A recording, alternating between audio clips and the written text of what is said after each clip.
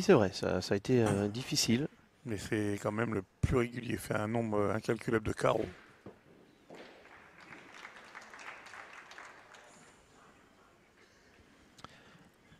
Il a un- en plus un avantage, je dirais, c'est qu'il lui c'est sa première, hein, il découvre. Et, euh, il a envie de mettre ce trophée euh, pour tout le monde, hein, mais bon, bah, lui, il veut aller chercher sa première Coupe de France.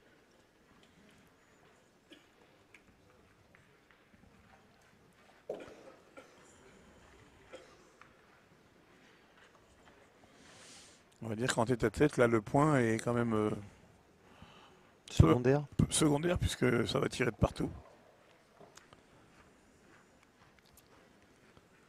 Il a bien tiré, hein. Il est beau celui-ci.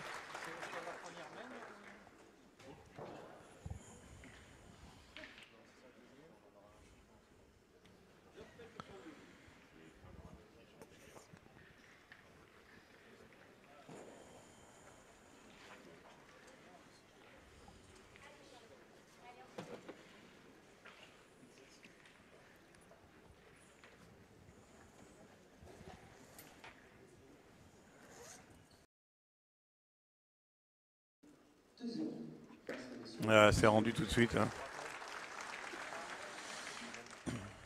Tu viens de le dire, mais les terrains peut-être sont favorisent le tir, mais il faut quand même le faire. hein, Que des carreaux tout le temps. Ah oui, parce que quand on n'est pas droit, n'importe quel terrain, euh, c'est manqué. hein. je... je peux te le dire. Oh hein. là Et là, allez, joli. Joli, hein. C'est beau à voir, hein.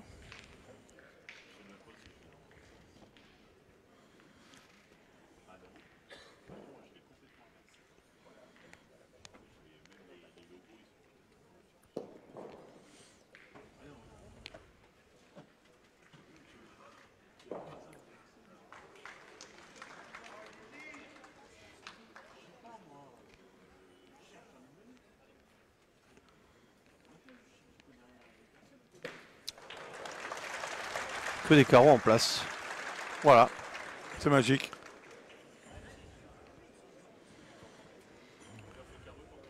Clément tire à deux, euh, enfin deux au carreau. carreau, ouais, ouais. On le précise. Il y a une boule au fond. Il y a Une qui n'est pas sortie, effectivement. Ah, ça c'est dommage. Ouais, c'est dommage parce qu'il avait fait deux beaux carreaux avant. Et là, moralement, c'est pas bon parce que du coup, il pouvait revenir. Et là, ça fait 4-0. Quand on voit le jeu que fait Diego Rizzi, Oui, on ne sait pas combien de fois il aura l'occasion. l'occasion. Ouais, qu'il n'aura pas souvent d'ouverture, hein, à moins que d'un seul coup, euh, il se mette à baisser. Mais là, euh, franchement, c'est impressionnant.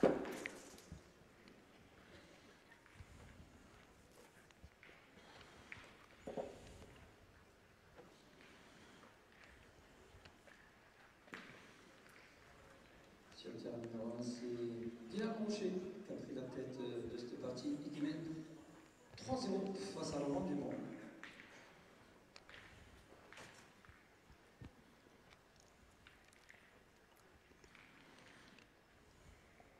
Sur le terrain numéro 5, c'est Philippe Sider qui mène face à Farah Ndiaye 4 à 2.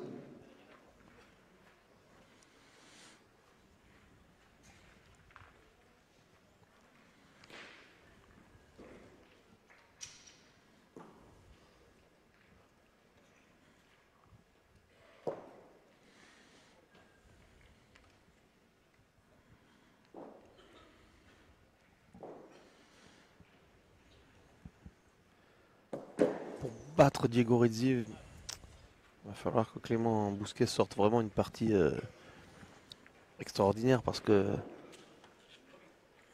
il va falloir faire le plein au tir tout simplement. Et pour l'instant, il n'est pas loin de le faire, le plein, mais. Il lui manque pas grand chose pour le faire, mais, euh, en face, euh, ça répond à tout. hein.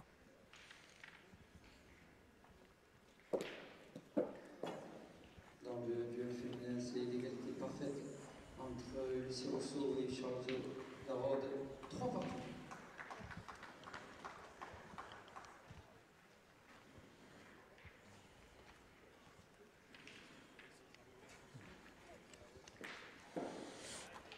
Alors j'imagine que tout le monde a dû faire un peu son pronostic par rapport au tirage de cette tête à tête. Toi Clément, qu'est-ce que tu en penses? Ah, moi, j'y ai, ai pas du tout euh, songé, figure-toi. Si, moi je me suis amusé à regarder un peu. Si ça me réussit autant que, que le reste des jeux auxquels je joue, dont on a parlé ce midi, Moi c'est pas la peine. Moi, je vois bien un, un 3-3 ou un 4-2 pour Fréjus. Ça va se jouer à pas grand-chose, je pense. Après, l'important, voilà, c'est ceux qui, euh, ceux qu'on va avoir mis favoris dans leur, dans leur partie. Si, euh, s'il y a une, une défaite, on va dire, plus ou moins imprévue, ça peut faire tourner le cours des choses. Moi, je triche puisque je suis déjà en train de regarder les scores un peu partout. Alors, je vois que Christophe Sario est parti devant face à Alessio Cocciolo, puisqu'il est 5-0, Christophe. Bon, ben, euh, Diego 4-0. Ah, puis Clément, euh, il fait des petits cadeaux. Là, je vois bien une victoire de, Diego et de, Dylan Rocher, qui sont partis tous les deux devant. Alors, Dylan, euh, sauf erreur de ma part, Philippe, il y a 3 partout.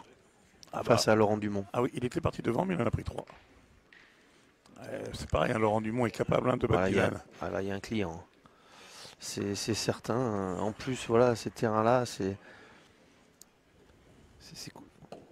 Là, ton jeu de pronostic, euh, Laurent Dumont face à Dylan Rocher, franchement, je. Je sais pas si. si... Qui a l'avantage Bah, il faut bien faire un pronostic. Ouais. Chez les filles, c'est 3 partout. C'est trois partout. Là, c'est pareil. Si Lucie Rousseau venait à faire le- l'exploit de battre euh, Charlotte, ça pourrait faire complètement tourner le match. Exact. Bah, si tous les hommes chez Fréjus sont à, à la hauteur, euh, on va dire qu'ils en ont éventuellement trois peut-être euh, avec eux, si, si, c'est Lucie qui rapporterait le quatrième. On vous rappelle, hein, Ziegler face à Ndiaye et euh, Delahaye face à De Lyon. C'est ça hein? Ouais, c'est ça. C'est ces deux Ou j'ai inversé Oui, c'est c'est ça. ça. C'est ces deux parties-là qui sont plus ou moins. euh, ouais, on peut pas trop savoir ce qui va se passer. Alors imaginons qu'on mette 1-1 de ce- dans ces deux parties-là, qu'on rajoute Diego et Dylan et qu'on rajoute Charlotte et Christophe Sario de l'autre côté, on pourrait arriver à 3 partout. Ce qui nous, euh, ce qui nous donnerait euh, des triplettes obligatoires. Ah, ce serait super Ce évidemment. qui serait bien pour le spectacle. Et pour toutes ces tribunes pleines qui ont payé pour, euh, pour voir du spectacle.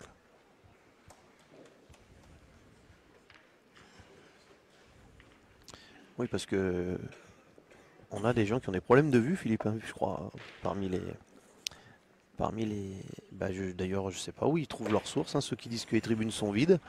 On a lu ça euh, sur les fameux réseaux sociaux. Ceux qui voient des tribunes vides ici euh, sont peut-être venus cette nuit. Non, effectivement, ce matin à 8h15, Ah oui, bah pas toute pleine. Et puis hier soir à minuit non plus. Mais, euh, enfin à 23h30. Mais là, ouais, là c'est c'est plein, c'est blindé. hein.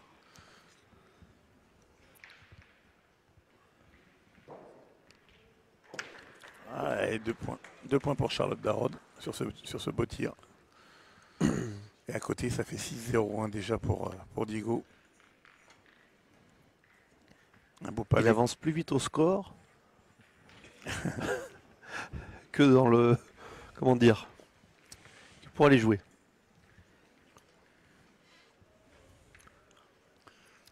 Mais il va plus changer maintenant, c'est comme ça. C'est sa façon d'être dans la, dans la concentration. Ce qui m'épate chez lui, c'est sa sérénité. On sent, euh, on sent pas de, de faille dans son regard, dans son jeu, dans sa façon de se comporter. Et ça, c'est dur pour l'adversaire. Ouais, D'ailleurs, il faut, faut peut-être éviter de le, trop le regarder quand on l'affronte. Ah, il a manqué, Clément. Il n'arrive pas à aligner euh, trois frappes de suite. Ouais, il a fait des belles choses, Clément, mais ça s'enchaîne pas en fait.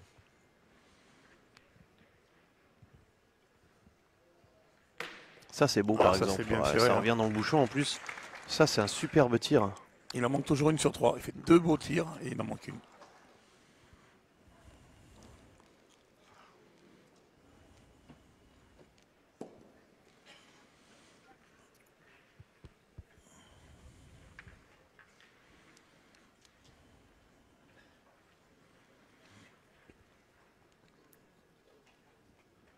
Bon, il n'empêche, Diego, il faut s'appliquer pour aller le gagner, celui-ci.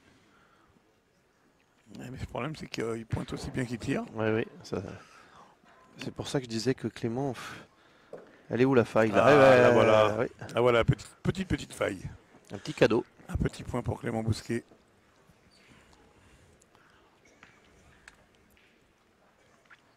Ça peut faire du bien, par contre, ça.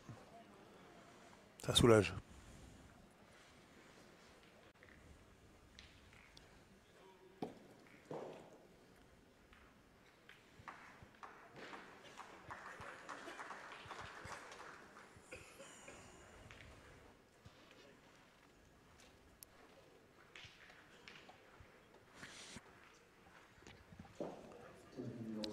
J'avais déjà remarqué ça hier. hein, Stéphane Robineau est coach attitré de, de Lucie. Bon, ils sont très proches euh, en amitié, mais sûr qu'elle a peut-être plus besoin avec lui que Dylan en même temps. Au niveau des conseils, Ouais, ça fait peut-être moins gueuler.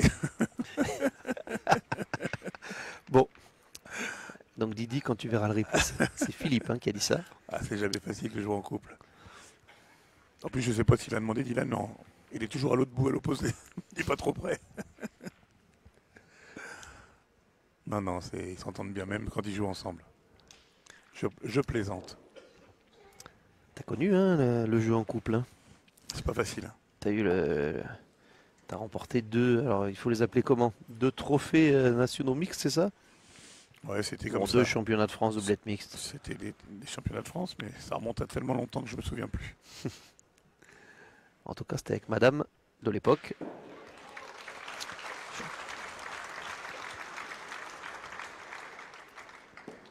Je crois que Christophe Sario est en train de. Oui. J'étais un peu inquiet pour lui parce qu'il a quand même été un peu, euh, un peu dans le dur hein, depuis hier, mais là, là, il a démarré cette finale en, En trombe. en trombe. hein. Ouais, c'est Alessio Cocciolo qui en fait les frais là. Ouais.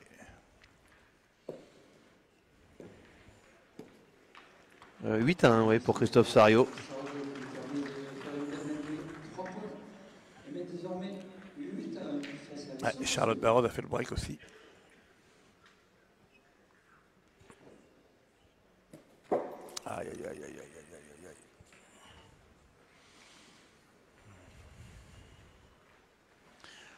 Il va avoir du mal à s'en sortir, Clément. Il l'a pas fait bon d'entrée. Il pensait que Diego allait tirer. Il n'a pas tiré.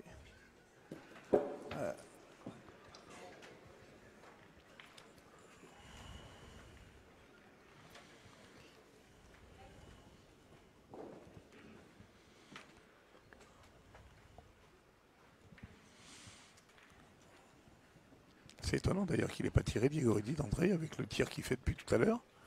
Et ça lui a bien profité puisqu'en pointant, c'est Clément Bousquet qui a manqué double. Est-ce qu'il se le permet par rapport à... au début de partie de son adversaire, Philippe? Oh là là Ah, oui, imaginez qu'il aurait fait ça la première. Alors, donc, euh, vous- bon, vous l'avez pas à l'écran, elle est tout au fond du jeu, la boule. Et euh, bah, il en a qu'un. Avec sagesse, il va pas tirer. Je pense qu'il va pointer pour en mettre un deuxième. Il est largement devant, c'est pas la peine de prendre des risques. Il a le dessus au score, il a le dessus psychologique. Donc, euh, C'est ça. aucune raison de les euh, donner.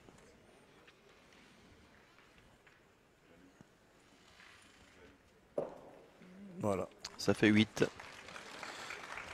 Donc 8 à 1 pour Christophe Sario d'un côté, 8 à 1 pour Diego Rizzi de l'autre. Voilà, France-Italie, égalité. Ouais.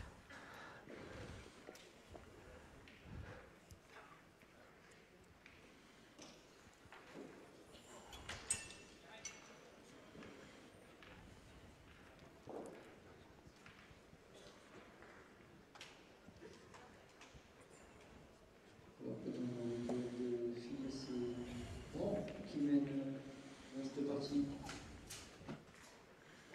Charlotte Leroy qui mène 8 à 3. Face à Lucien Rousseau.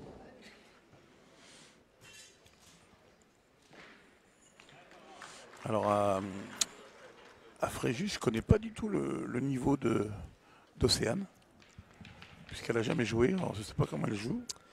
On a entendu tout à l'heure dans l'interview un Jean euh, Casal, le coach de Fréjus, dire que Lucie avait raté sa toute première partie hier matin Et, que Jean, euh, il a dit, j'assume et je pense avoir bien fait d'avoir laissé le temps à Lucie de, bah, de rentrer dans la compétition. Effectivement, hein, la suite euh, lui a donné euh, raison. Mais là, je ne parle pas du niveau de Lucie. Je me, me demande si, euh, de temps en temps, pour, euh, pour un peu la soulager, parce que ça fait un- beaucoup de parties en, en deux jours. Et il peut y avoir des coups de, de mou, des coups de... Est-ce que de temps en temps, ce serait pas bien de, de tourner un peu? Non, mais moi je te donnais la- l'argument qu'a donné Jean. hein.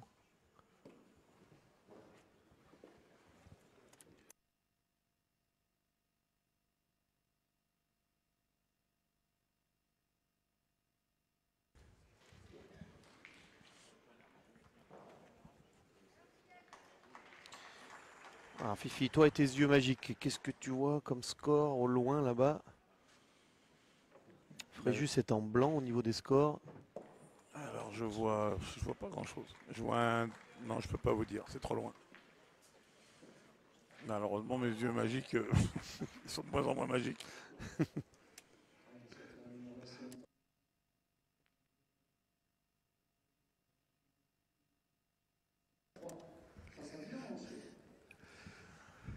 7 à 3 pour euh, Laurent Dumont contre Dylan Rocher.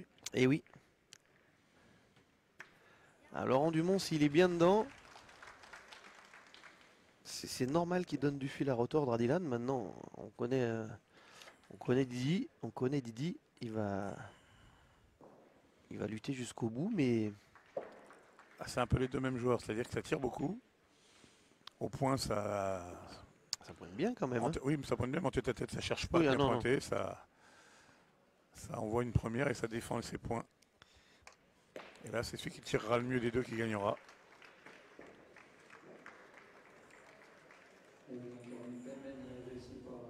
Sario, qui mène désormais 11 à 1 face à Alessio Cossiolo. Ah ouais, alors, Sario Coziolo, il n'y a pas de partie, hein, 11 à 1 pour Sario.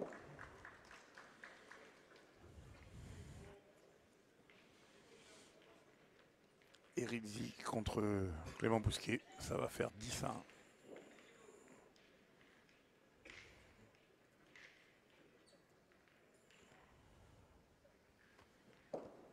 Voilà.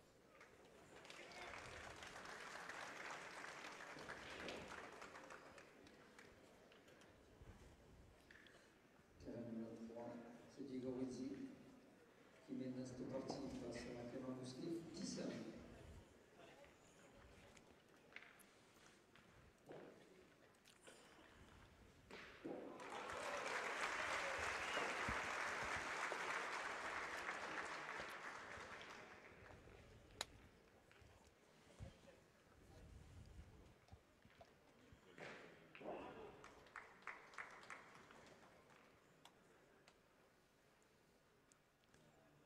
Il va falloir vérifier.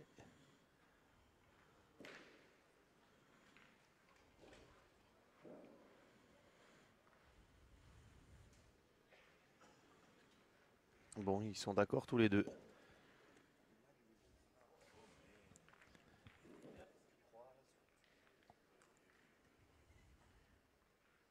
Terrain numéro 5, c'est Philippe Ziegler, qui mène 5 face à Farah Ndiaye. Voilà, il y a 9-5 pour Ziegler face à Ndiaye.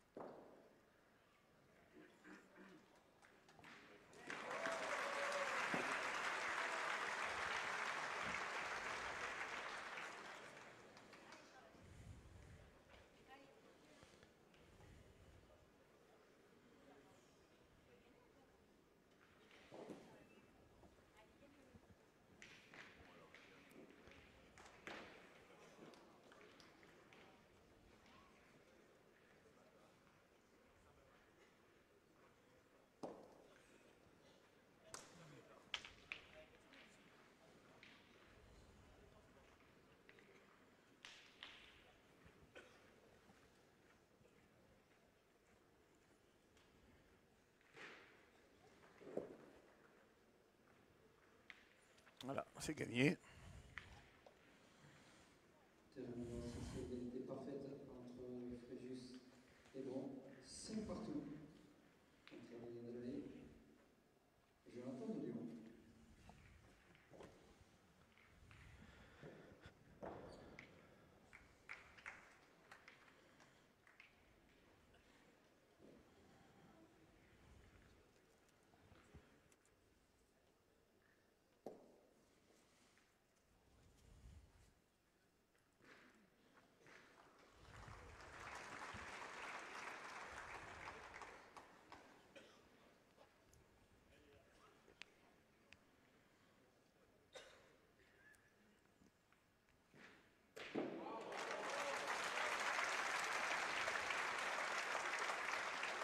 Les applaudissements sont pour Alessio Cocciolo qui est allé chercher une, une marque avec un tir à 12 mètres. Mais il en a besoin. hein.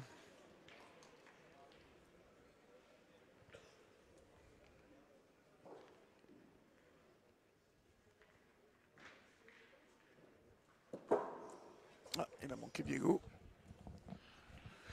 Ça faisait un petit moment qu'il tirait plus, hein, euh, qu'il faisait son petit jeu au point, ça suffisait.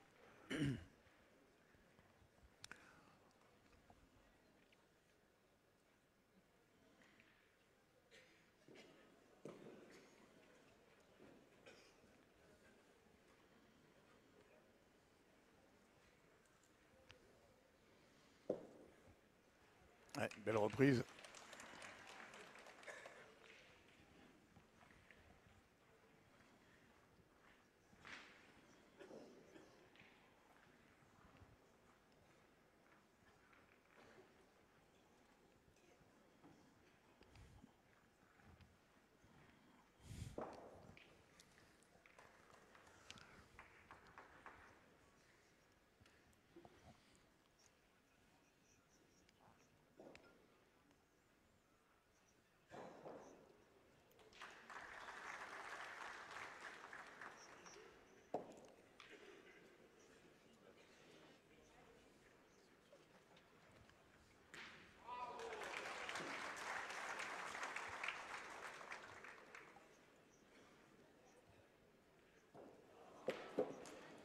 Voilà, bravo Clément.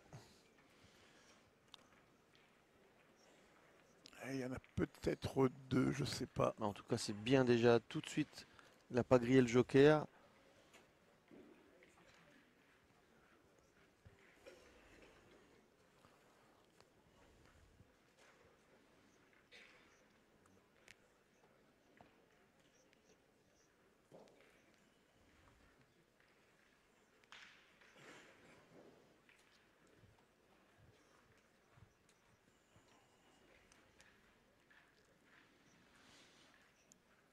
Passé la mi-partie un peu partout. 8-6 pour Laurent Dumont face à Dylan Rocher. C'est très serré entre de Lyon et de la Haye.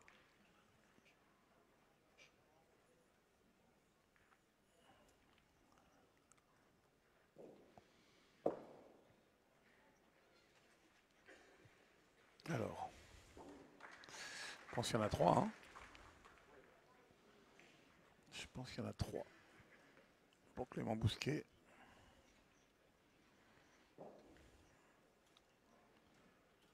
Ah, et non, il n'y en a que deux. 3-10. Mais c'est. Oula. Erreur sur le scoreur. C'est bon à prendre. hein. De toute façon, Ah oui, c'est sûr. l'Italien maintenant euh, qui a dit, c'est euh, Clément. Il doit lui montrer maintenant aussi un peu de présence. Est-ce que Philippe, tactiquement parlant, il faut jouer loin On- parce que Depuis le début, euh, euh, les deux joueurs ont cherché à jouer loin, mais est-ce que quand on est 3-10 comme ça, il faut continuer à le faire Ah, Par Bah. rapport à, à la partie qu'a fait Clément jusque-là. hein. Ah, il faut quand même jouer loin parce que près, il manquera jamais euh, Diego ou très peu. Alors que loin, on ne sait pas.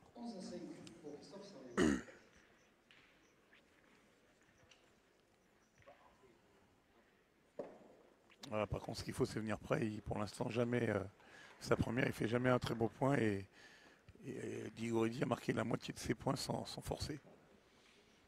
Ça, c'est embêtant. Parce que c'est pas parce qu'il fait que des carreaux qu'il faut pas le faire tirer, hein, loin de là.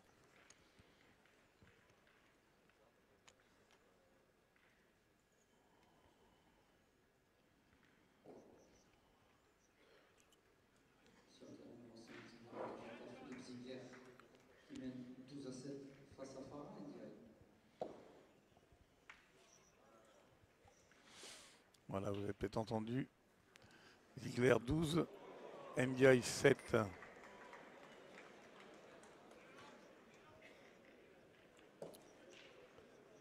Ça doit, ça doit canarder aussi dans ce coin là-bas. hein. C'est pas à la pointe que ça se fait, je pense. hein. Ouais, alors là, c'est pas, c'est un peu, on va dire, c'est un peu le tournant de la partie, on ne savait pas lequel des deux allait gagner. Et chacun forcément a dû miser sur son poulain.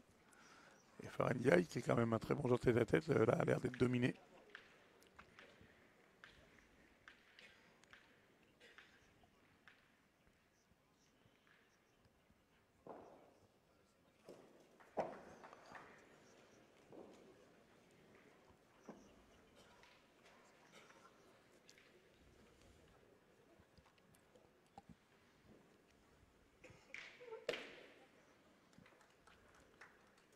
C'est bien tiré pour Clément Bousquet, mais enfin pour marquer, c'est. Ça suffira pas. hein. Ah non, c'est ça, c'est pas facile de rattraper sa première boule. Alors si c'est bien pour euh, c'est bien pour ne pas charger. Il va en prendre un s'il tire bien, mais ça fait pas avancer les choses.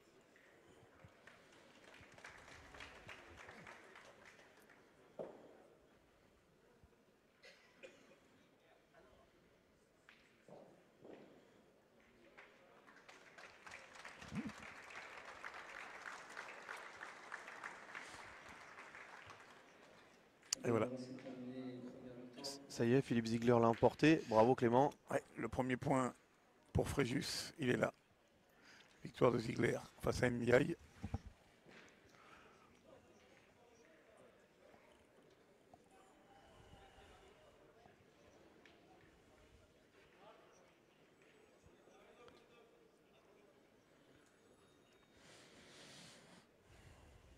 Chelot fait de la résistance. hein. Il y avait 11 à, 11 Ouais. à 1, il y a 11 à 5.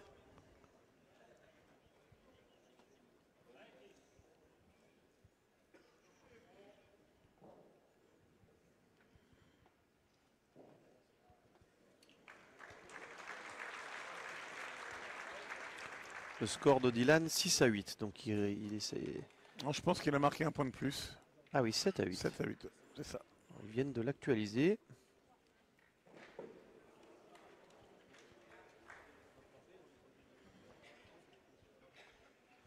Donc les deux premiers points ont été ramenés pour Fréjus par Philippe Ziegler.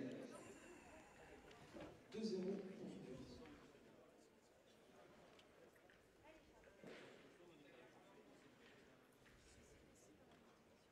Dans le féminin, c'est Charlotte Darogue qui mène 12 à 5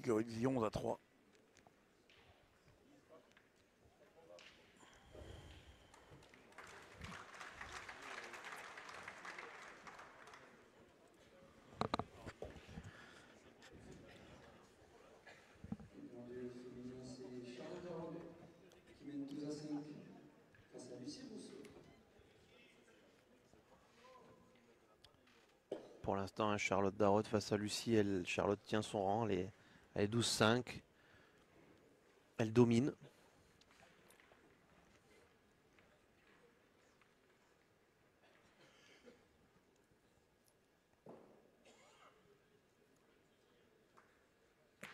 Bravo Clément.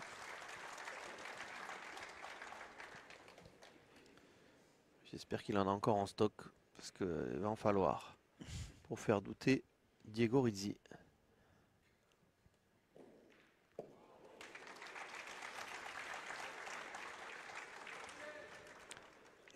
Alors là encore, hein, Cocciolo qui continue à grappiller, je crois. Mais bon, Sario a 11, hein, donc euh, pas le droit de se craquer. hein.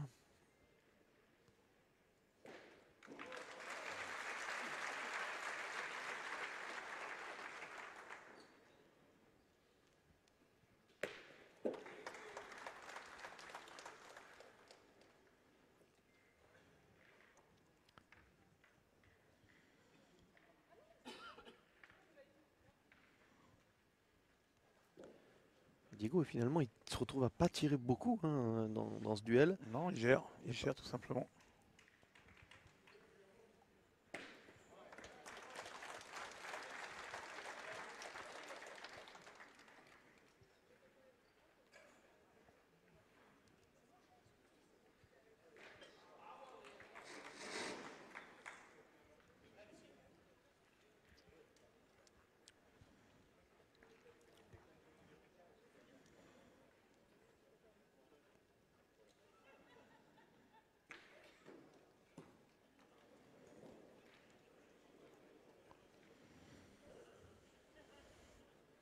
Ça ne suffit pas.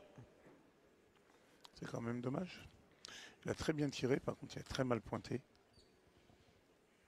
Et là de perdre celui-là c'est grave parce que du coup maintenant c'est carreau gagné pour Rizzi.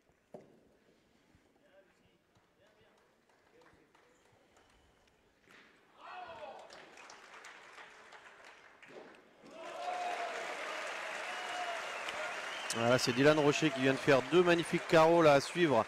Donc c'est face à Laurent Dumont. hein. Euh, pour peut-être faire trois points, peut-être. Je crois que oui. Donc il, est, il monte à 10, Dylan. il est malheureux, euh, Laurent Dumont. Il a fait carreau à la première, mais le bouchon est parti. Tout à fait. Et après, il a pris deux carreaux. Et après, il a pris deux carreaux, il a pris trois, alors qu'il a, trop- il a bien joué ses trois boules. Et là, bah, c'en est fini, hein, je crois, pour euh, malheureusement Clément Bousquet. Bah oui, Diego, il a plus qu'à le, le mettre.